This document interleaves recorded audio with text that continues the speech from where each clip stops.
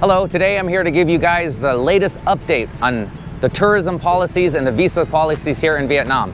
For those of you that don't know me, I am Gamer Abroad. I've been living in Vietnam for three years and I've been here through the entire COVID pandemic. And in today's video, I'm gonna keep you guys up to date.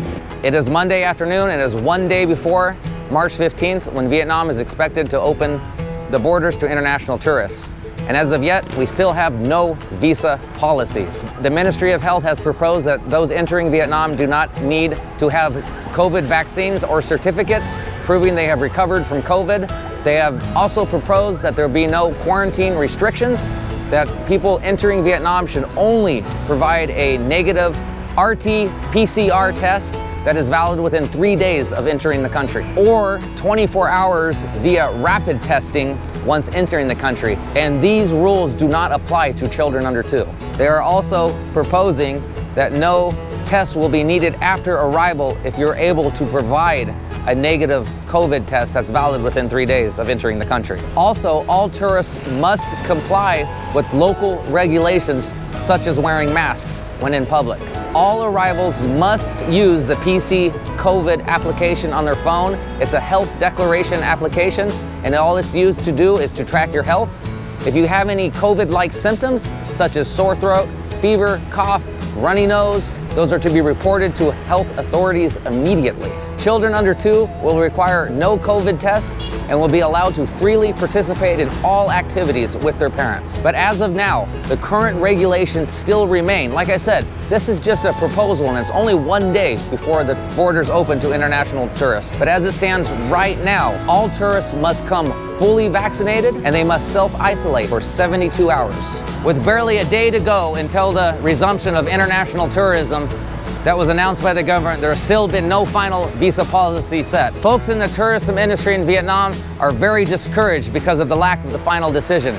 They are worried that tourists will instead choose neighboring countries like Cambodia, Philippines, and Thailand, which have fully reopened their borders with no quarantines or COVID tests. Because of there being no final decision on tourist regulations, people in the tourism industry will not be prepared to accept international tourists until late April, and instead are now focusing their time now on solely domestic tourists. However, Vietnam has several advantages over neighboring countries here in Southeast Asia, including their natural beauty, their rich culture, and fantastic cuisine, and not to mention their luxury tourism. Vietnam has many UNESCO recognized heritage sites with over 3,000 nationally recognized relics and 5,000 provincially recognized ones. Tourism industry experts are urging the Vietnamese government to issue long-term visas to countries like the US and China, where the tourism industry is very large, in order to encourage more international tourists from those countries. Before the pandemic, Vietnam did not require visas from any tourists from 24 separate countries. Unlike their neighboring countries, such as Singapore, which didn't require visas from 158 countries, Thailand, that didn't require visas from 61 different countries, Malaysia at 155 countries, and Indonesia at a whopping 169 countries. Several ministries have proposed that the government resume the exemption policies that were set forth before COVID.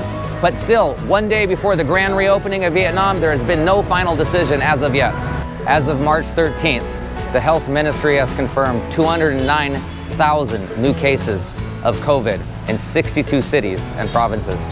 The COVID-19 death toll in Vietnam has rose to 41,000 with the confirmation of 95 deaths just this Sunday.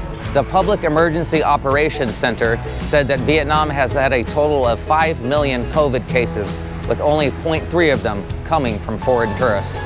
Experts say that Vietnam should be confident on the reopening of borders on March 15th, and they should not worry about foreign infections affecting the community.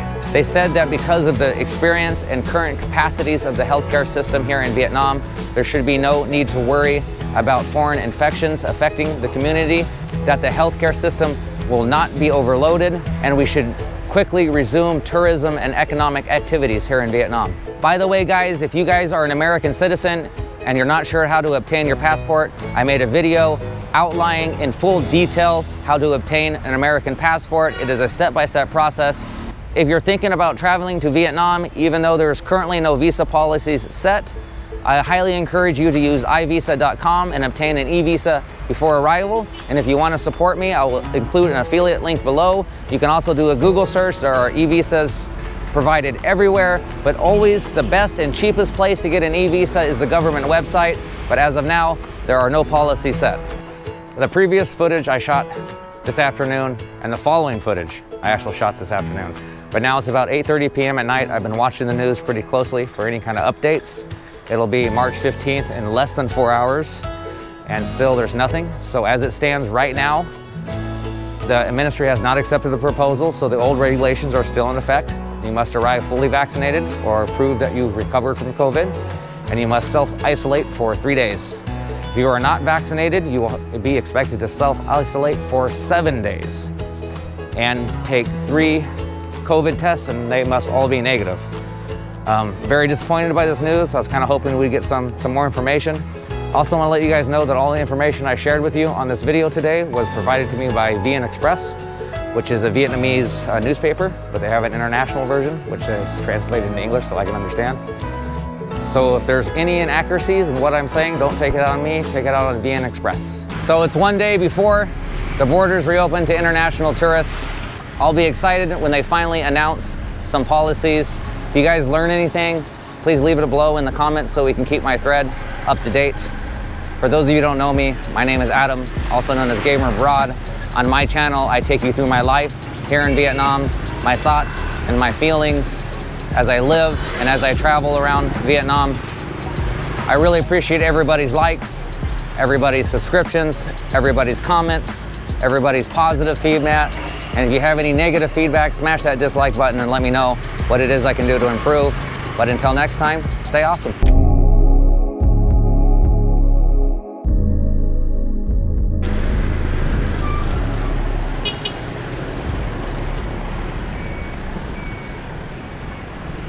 Good?